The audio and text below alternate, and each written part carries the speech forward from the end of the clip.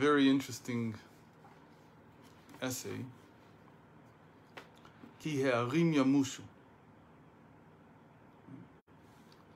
Why does he talk about this here? Because this is uh, from this week's uh, Haftarah. It's a, where is it? It's in Isaiah 54. And the second to last verse is about, is the verse that he's now going to quote. And so to understand this whole Haftarah and how is it related to the end of the year? Why was it put here? Why, why did the sages say to read this? So I should really read it, a little bit of it to you in English. Of Isaiah 54. And at first it's, it's hard to understand what in the world Isaiah is saying. What does he want from us? How is it related to the end of the year? a lot of questions that come up. So let me read it. This part of it. So it starts, like you said, Anya Soara. Soara, how did they translate it here? Say, um, O afflicted torm, O afflicted storm-tossed one. Okay. One who has not been consoled. So we're still in the seven weeks of consolation. So it's related to the to those consolations, but it's got a lot to do with the end of the year also. Behold, I will lay gems as your flooring stones, and lay your foundation with sapphires.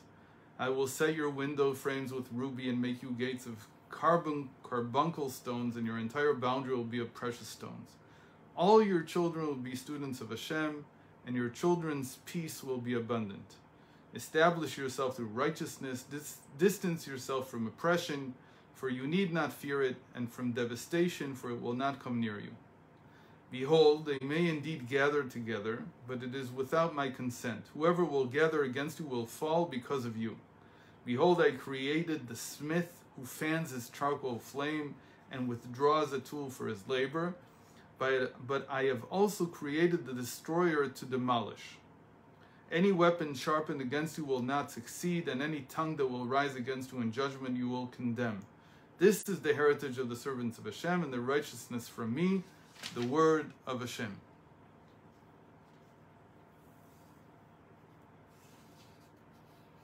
Seems like a little contradictions. So that is the wrong one. That's Ray. I started too late. It's earlier in chapter 54.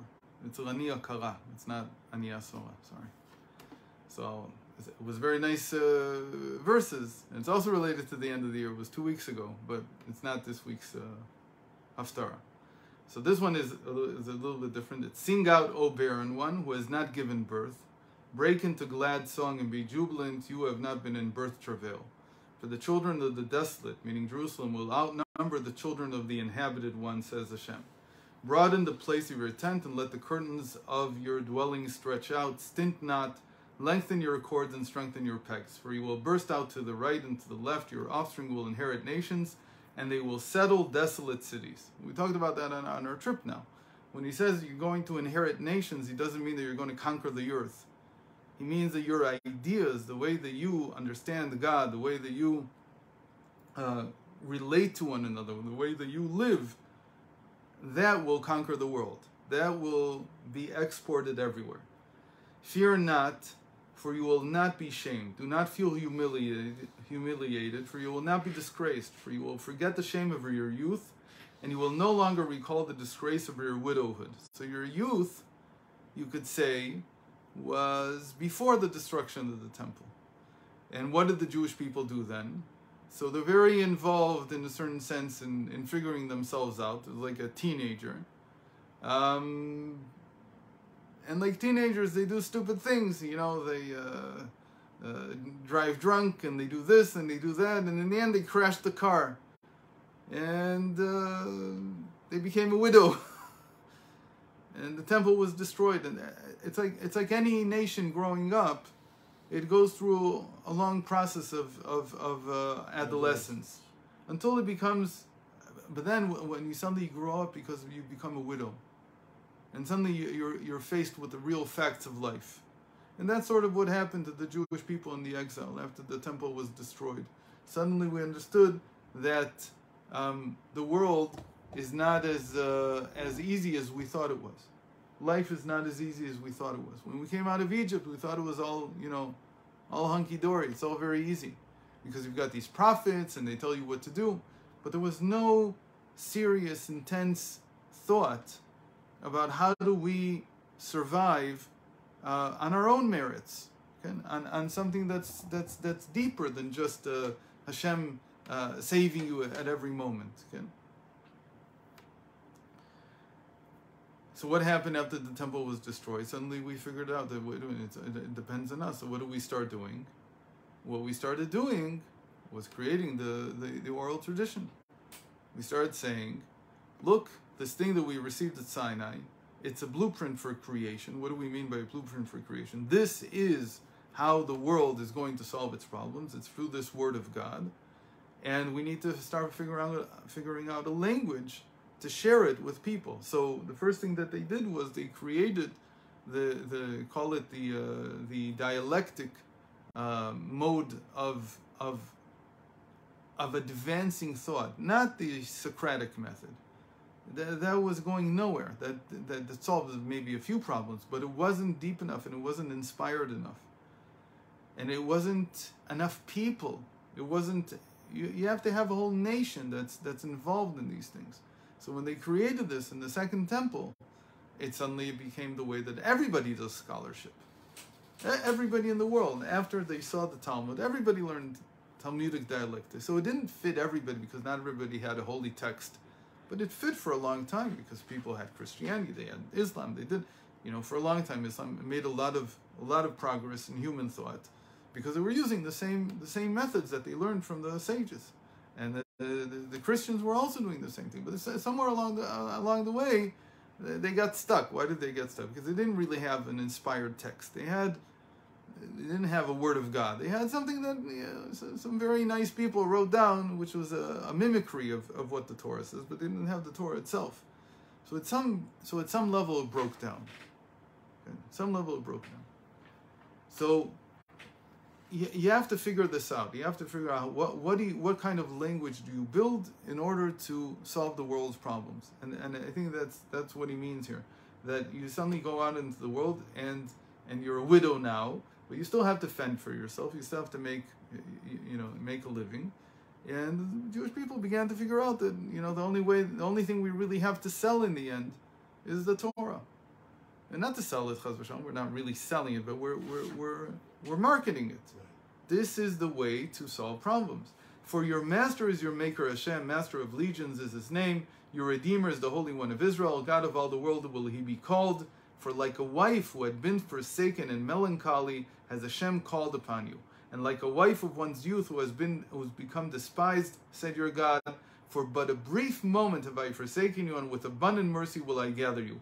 With a slight wrath have I concealed my countenance from you for a moment, but with eternal kindness shall I show you mercy, said your Redeemer Hashem. He says, You're in the best possible position because now that I've thrown you out of your house, you're a widow, you're, you're without support, and you've had to learn how to tap into the Torah and bring out the wisdom that it has in it, you're in a much better position than, than you were. And I'm telling you that you will discover me through through what you're going to do. You will discover me. And then he, he says something amazing. He says, suddenly, what's the connection? This is where it becomes, this, this is really what the Alter Rebbe is now quoting. For like the waters of Noah shall, be, shall this be to me. Just as I swore that the waters of Noah would never again pass over the earth, so have I sworn not to be wrathful, wrathful with you, nor to rebuke you. So, uh, so much I can understand. He's saying, look, when the, the, the flood came, it had to come. There were good reasons for it. But then I swore I would never do it again this way. He's saying to us, look, don't be afraid anymore. I'm not going to destroy the temple again the same way. It's kind of strange because right, Isaiah is saying this.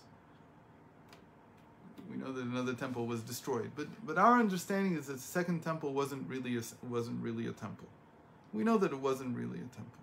It was missing the main ingredients. Okay, the most important ingredient, the ark, wasn't there. So what was there? There was the service. You could sell, you could say that the social aspect existed. The service brought people together. It made them into a nation. That's a very important thing. But it didn't have the inspiration that the first temple did. It, it, lacked the source of godliness, which is the ark and the tablets and the Torah that's inside. So the second temple is not really considered to be um, another attempt that failed. It's considered to be a continuation of the, of the first attempt. It wasn't made any different. It, it, it was all built on the same premise. So I understand. I can understand what he's saying now. He's saying, "Don't be afraid to try again, because I promise you that I will never be wrathful the same way."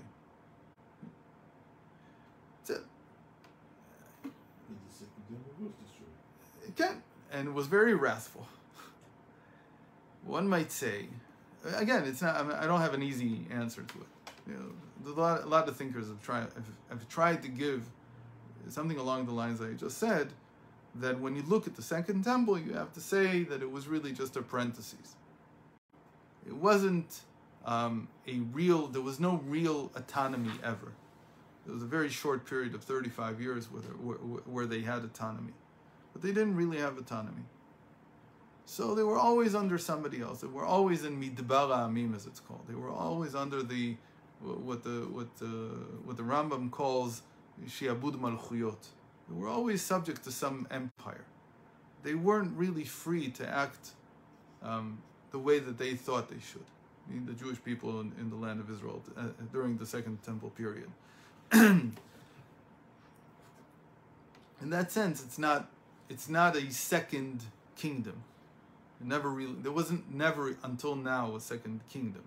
Okay, now there is a second kingdom. The question is, what is this kingdom about, right? If you're going to make an Israeli state, and all that interests it is to be uh, militarily strong, and instead it gives the good excuse, like we have no other choice. Uh, okay, maybe. It wants to be economically strong. Oh, okay. But everybody understands that at the heart of what we call the state of Israel, there's not the Torah. The Torah is not there. So, though there is a kingdom now, there's an autonomous, as it were, kingdom to some extent. Uh, it really doesn't serve the purpose yet. Under the rule of America. And it's still there's still Shiabud Malchuyot to, to a great degree. It's still under the rule of other empires still. So the autonomy is not full, but certainly the direction is not autonomous. It's not it's not looking to really influence the world except by some mimicry of this thing called startups. And then you become a startup nation. It's nonsense, really, because that's not what the Torah has to offer. The Torah has a lot more than that to offer. And that, startups were invented in America. And technology was invented in America. So if all you're doing is you're just doing what America does, okay, so we understand. You're, you're, you're a protectorate of the United States. I don't know if it's a complete puppet, but it's not a, if you look at the Pfizer vaccine, you might come to the conclusion, yeah, that's true. Why? Because in the United States, the FDA has not yet approved a third shot. But in Israel, already a million people have received it. So how did that happen? Because we said, yeah, well, why, why should we be idiots and approve a shot without any data? These guys are willing to take the shot, and we'll see the data, and we'll, then we'll decide. So it's, it's even worse than that in, in some ways. It's, sort of, it's like, gigantic Okay. trial. that's not very good for influencing. That's not very good for being autonomous. But then he says something that is an allusion to the flood, but it, doesn't make real sense in the beginning. So he says, and this is the verse that the Alter Rebbe is going to start with: "For the mountains may be moved, and the hills may falter, but my kindness shall not be removed from you, and my covenant of peace shall not falter," says the one who shows you mercy, Hashem.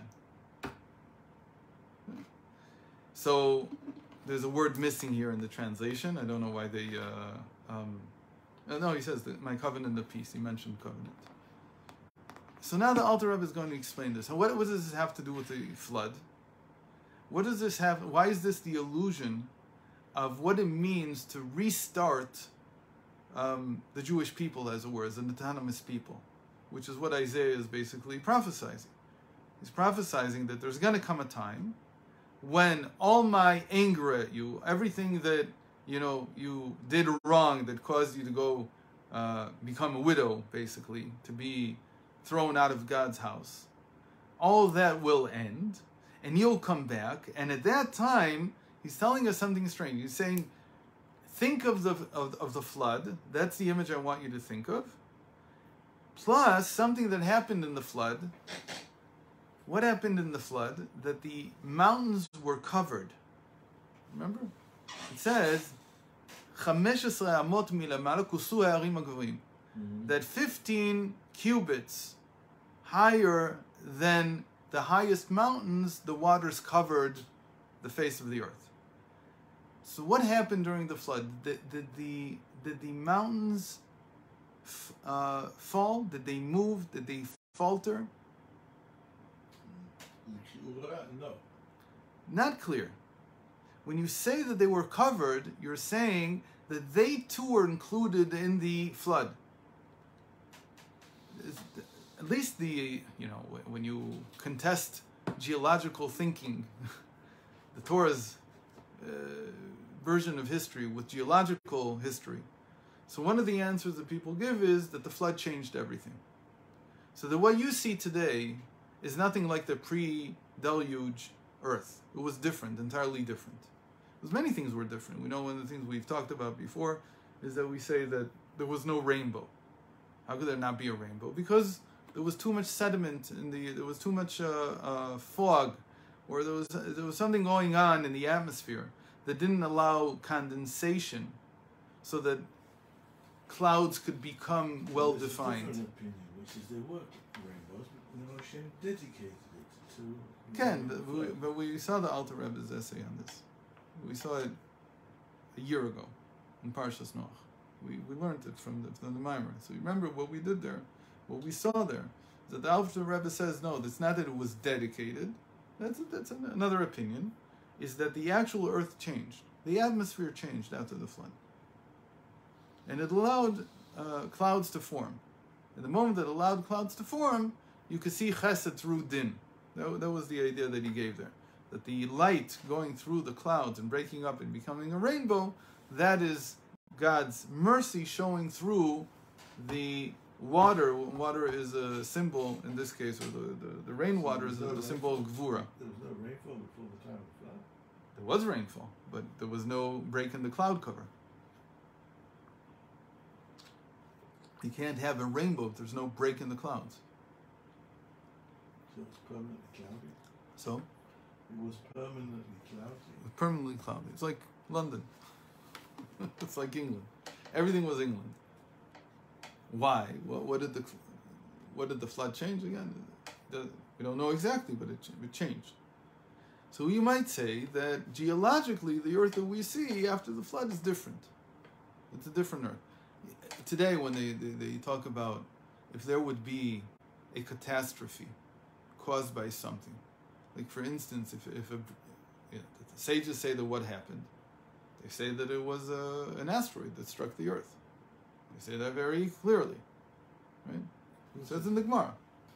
What happened? How did the flood come about? An asteroid hit the Earth. Uh, In Brachos, at the end of Brachos. It says that God took a star from Kima. Where's Kima? So Kima is a, is a name for many objects in the sky. One of the objects that it is is is is a galaxy. They call it the, the Pleiades or something like that. It's a group, a cluster of galaxies. But there's another Kima which is much closer.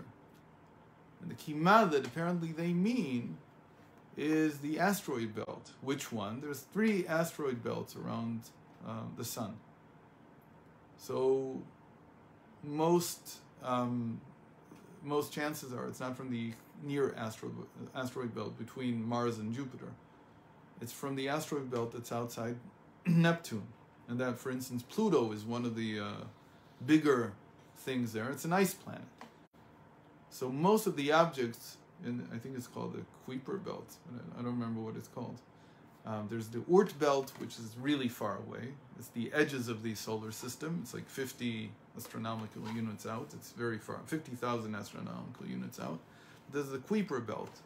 And the Kuiper belt is, is from Neptune out to, I don't know, like twice the distance from uh, after from the sun to Neptune. It's very big. So one of those objects came and hit the Earth. That, everybody knows today, or at least everybody knows, everybody who deals with this uh, argues that if an object that was big enough hit the Earth, um, you, you would get tectonic shifts that would change the, whole, the, the way the whole planet uh, looked. So things that you may think are in geological age, you know, 50 million years old or 100 million years old or a billion years old, may actually really be only 3,000 years old. It depends if, if there was such a catastrophic hit and exactly what happened uh, following that. Anyway, uh, there's all kinds of theories that you could you could Before build. time, I don't remember. What? It was before my time. I don't remember. It wasn't so much before the time. In any case, so so so we've we've got this question about the mountains and, and the hills that were covered by the floodwaters and, and how that exactly affected them. Said uh, that I, I want to put that aside because we're not going to deal with the with the geological questions. What we want to really deal with is, and that's what the Alter Rebbe is going to do is what, what does this symbolically mean? What what is Isaiah talking about? How do you unravel this symbol? What does it really mean? What does he want to say? He's got this picture again that don't worry because after the flood I promised there wouldn't be another flood. The same thing I want you to act now in such a way, he's telling the Jewish- people, I want you to act in such a way that you can you're guaranteed that whatever you build now will last.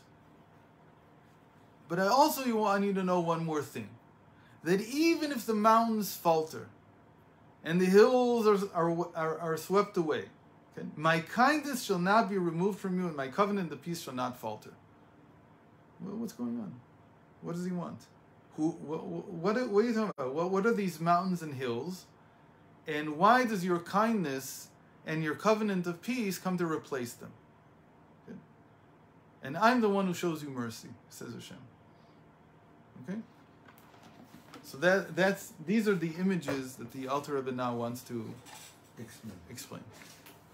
So again, Hiarim yamushu, the mountains will move. V'agvaot and the hills will fall. V'chasdim lo yamush. But my kindness to you will not falter. Uvrit shlomi lo tamut, and my covenant of peace will not falter. Amar merachamech Hashem, says Hashem who shows you mercy. So says the Alter Rebbe, Hine harim nikru avot. We know that the symbol, the image of mountains, relates to the patriarchs. כמו שכתוב, שימו הרים את ריב השם והאיתנים מוסדי הארץ. Like a pasuk in Micah, there's many psukim that we see throughout the prophets, that whenever they talk about the mountains, they're talking about Abraham, Isaac, and Jacob. They're called the mountains. Mashal. What's the idea? Why do we call the patriarchs mountains? He says because what does a mountain do? What, is, what does a mountain represent? Look at a mountain in the physical sense. In, in theory, the, the earth is like, is like the ocean. It should be a, a round perfect sphere. But then suddenly you get a mountain, and the mountain comes and says it's not flat anymore. It suddenly rises up. So the earth is everything is the same, and then suddenly you have a mountain. So What do you mean? In the, what is, those are mountains in the sea. Can come but they're covered. You don't see them. We're talking about the mountains that you see. And from this straight circumference of, not circumference, but the straight spheroid of the earth, right? It's all flat as a word in theory. Suddenly you get a mountain. So what does a mountain represent? It suddenly reaches out to the sky. It says, look, the, the, the world is flat. Flat means everybody's the same. Everybody's the same. Everybody's regular. People live, they're born, they live, they die. What do they do in their lives? They eat some, they go to the bathroom some, they wash some, they have more children, and they die. What do they do? What's their recollection?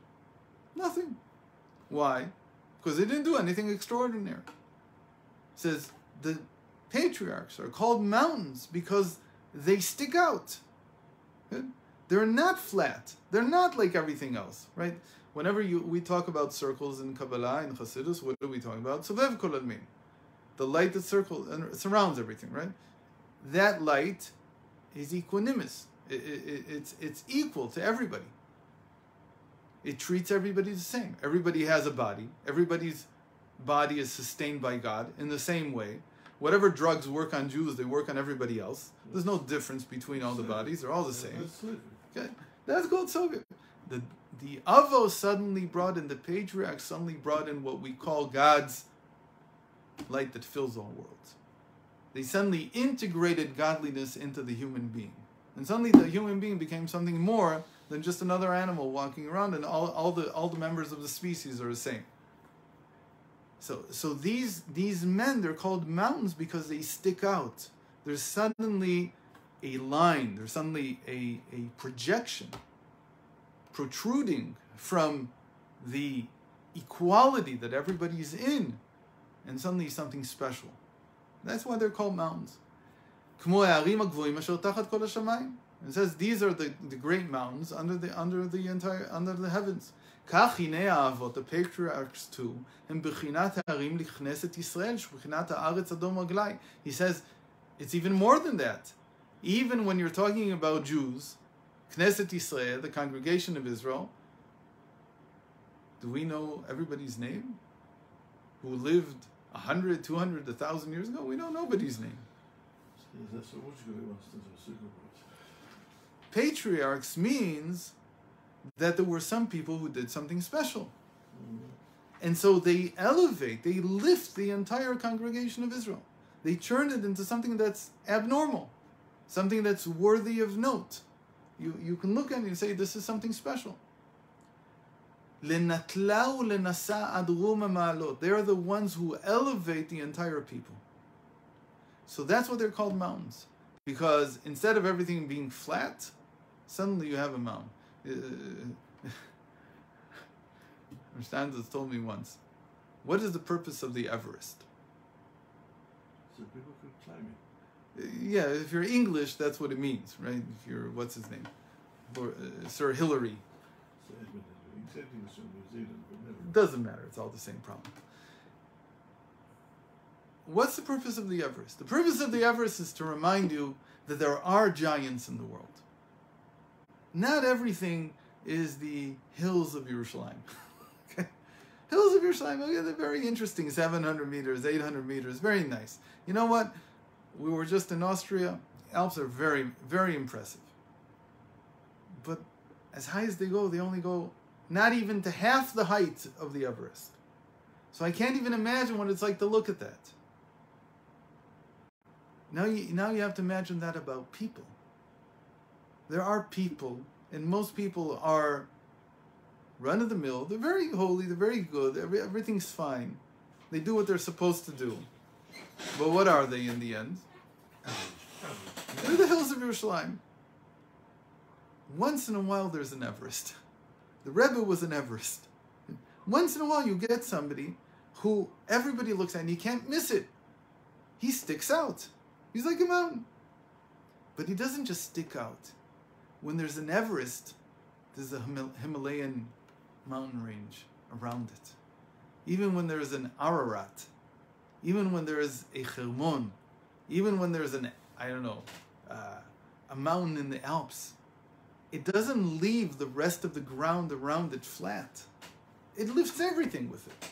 So around it, you'll get, right, you'll get the Everest at 8,800 or whatever it is and 8,700 meters. And right next to it, there's another mountain, 8,200. And right next to it, there's another one, 7,000. And, and of the 13 peaks, I think, in the world that are above 8,000 meters, they're all next to the Everest. Yeah. They're all in the Himalayas. There's no, nowhere else. But it's the same thing everywhere. Wherever you get this tremendous mountain, you'll find that that mountain raises other pieces of land next to it. So when you get somebody like the Rebbe, So you get people around him who are giants also. They're not like him exactly, but they're pretty big. You get Rabbi Sacks, who's probably the most celebrated rabbi in the world, more than the Rebbe. You get Rav Steinsaltz.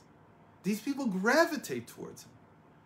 But it's not just that they gravitate towards him, they have potential, but he lifts them. He turns them into something. So every time there's a, there's a patriarch, every time there's and patriarchs are not just Avram, Yitzchak, and Yaakov. It's true that it's Avram, Yitzchak, and. Only only Avram, Yitzchak, and Yaakov elevate everybody. The Rebbe didn't elevate everybody. The, the Rav Ovadia didn't elevate. He elevated himself.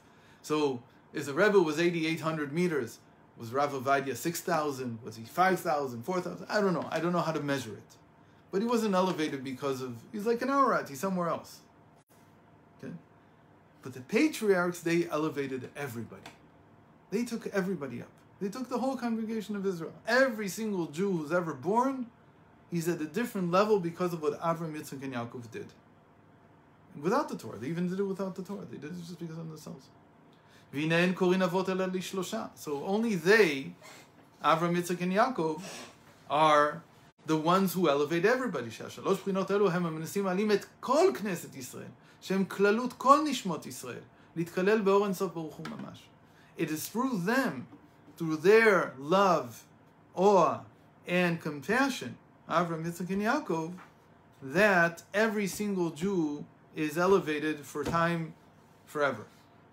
Moshe Rabbeinu didn't elevate everybody? Nope, he's not enough.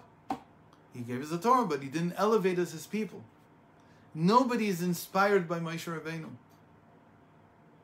Nobody is. We don't know where he's buried even. What is Moshe? Moshe is a conduit. Moshe is part of Hashem. He's more part of Hashem than he is part of us. We don't know what this man is. He didn't live a human life. He was a human. Of course he was. But he didn't live like a human. He didn't he, he didn't have a wife. He did he had to leave his wife. Is that normal? The, the Avos never left their wives. The patriarchs never left their wives. That's why you get patriarchs and matriarchs, because they had wives.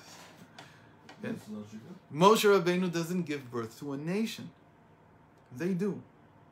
So there's something about them that is ingrained in every single Jew. So it's true that every Jew also has an aspect of Moshe Rabbeinu, but that's our aspect of bittul. That's our ability to nullify before Hashem. Here we're not talking about the ability to nullify before Hashem. We're talking about the ability to live a superhuman life. Not to stop living as a human, but rather to live as a human, but on a whole different level. Um, maybe you have to take oxygen when it's that high. You have to take oxygen with you. But in the end, it's a whole different level. And he gives now an explanation. I, am going to skip it. So, so this will have to continue tomorrow because our time is up. Okay, so this is what he's going to deal with. That Isaiah says that if the mountains move, you can't count on the patriarchs anymore to elevate you. And the hills will falter. My kindness and my covenant of peace will not, says Hashem. Meaning, he's telling us there's going to come a time where you're going to have to elevate yourselves based on something else. What else is there? Ah, so that's what he says. My kindness and my covenant of peace. So we're going to have to understand what those are. That's what this essay is going to be about. And I, that's why I call this You're All Out of Love. Which love? The love that you received from the patriarchs. So we know, we already know, right? Because the love that we received from the patriarchs, what's that called? Ahava mesuteret. It's mm-hmm. called the natural love. Mm-hmm. You're going to have to come to a higher level of connection with Hashem that is not natural. It's not ingrained within you. It's going to have to come from a higher level. And that we'll see in the rest of the week, Hashem. Давай, давай, давай, давай.